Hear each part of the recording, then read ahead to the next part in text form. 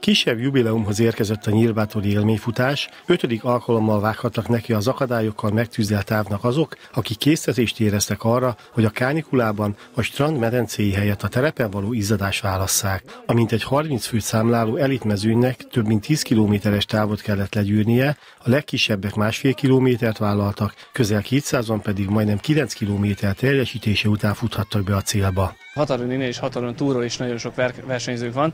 Az országon belül mondhatom azt, hogy mi vagyunk a keleti csücsök, és Győr pedig a, a másik vége az országnak, illetve Székelyudvarhelyről, tehát Romániából is vannak elhivatott versenyzők, akik folyamatosan visszatérő vendégeink. A profik mezőnyében Tóth Bence bizonyult a leggyorsabbnak. A Magyar Futósport Egyesület versenyzője, aki 1 óra 17 perc 45 másodperc alatt ért célba, azt is elmondta, hogy mi a vonzó ebben a sportágban. Szerintem a változatosság igazából változatos helyeken, az akadályok is nagyon sokrétűek, nekem ezt tetszik benne legjobban. Nekem a kedvencem az ilyen mászós, csimpaszkodós akadály, amihez uh, inkább akar kell, de a futást is szeretem.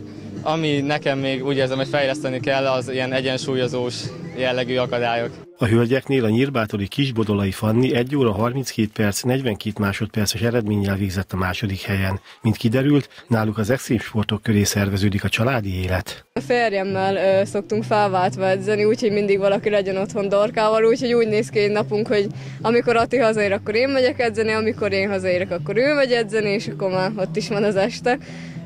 Nekünk ez az életünk tulajdonképpen, versenyszerűen sportolunk a kvadratlan sportákban is, ugye az is egy multisport.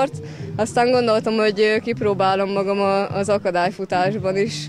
Azt hiszem két éve voltam először a Dragon versenyen, nagyon megtetszett, és és most úgy gondoltam, hogy idén is csinálok egy sorozatot.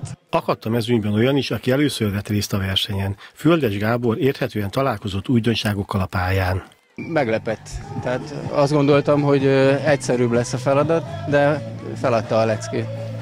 Semmit nem készültem, barátaimmal jöttem egy ilyen röplabda meccs szurkolójaként, aztán gondoltam, hogy amíg itt nincsen egyéb teendőm, benevezek erre a versenyre. A szervezők idén még két nagy rendezvényre várják az extrém sportok szerelmeseit. Egy kerékpárversenyen és egy három, illetve hat órás teljesítménypróbán feszegethetik majd határaikat a vállalkozókedvi sportemberek.